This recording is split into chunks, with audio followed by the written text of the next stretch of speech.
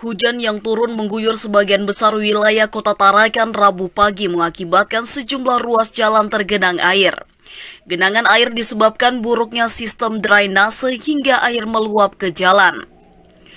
Hujan yang turun sejak Rabu pagi hingga siang mengakibatkan sejumlah ruas jalan raya maupun jalan alternatif di kota Tarakan tergenang air seperti yang terpantau di sekitar Jalan Gajah Mada, Jalan Ki Hajar Dewantara, dan Jalan Sutomo, genangan air nampak menutupi ruas jalan.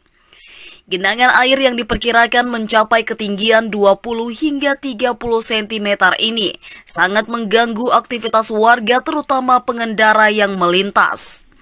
Sementara genangan air yang terjadi ini disebabkan oleh meluapnya air dari saluran drainase saat hujan turun.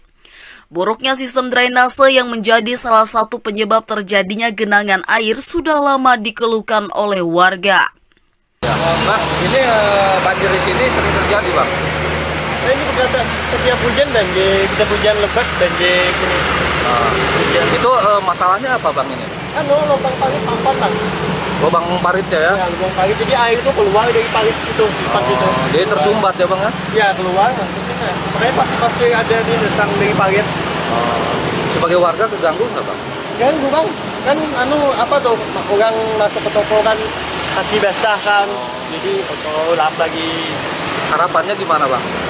Ke depannya sih anu bisa diperbaiki kah, ditinggi kah, atau lubang parit ini di apa tuh dibersihkan Ada perbaikan ya? Ya perbaikan di kan kan itu pampan di sana.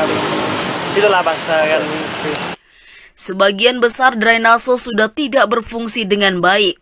Selain sudah dangkal dan tertutupi oleh betonisasi trotoar, juga tersumbat sampah dan kurang perawatan. Dengan kondisi tersebut, warga berharap agar pemerintah melalui instansi terkait segera dapat mengatasi permasalahan ini, sehingga tidak terjadi lagi genangan air yang sangat mengganggu aktivitas warga. Tim Liputan TVku